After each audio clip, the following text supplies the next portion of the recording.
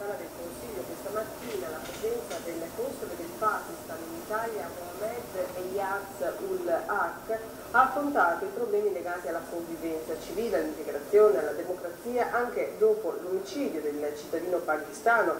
avvenuto a Luzzara il 3 agosto scorso. Al termine della mattinata la consulta ha sottoscritto un documento di condanna di ogni limitazione della libertà personale. L'integrazione si raggiunge, si è detto, prima di tutto garantendo i diritti inviolabili della persona, i valori fondamentali di sacralità della vita, libertà e democrazia scritti nella Costituzione italiana devono costituire, ha scritto la consulta, la base concreta della convivenza civile della nostra comunità, sia da parte dei reggiani che dei nuovi.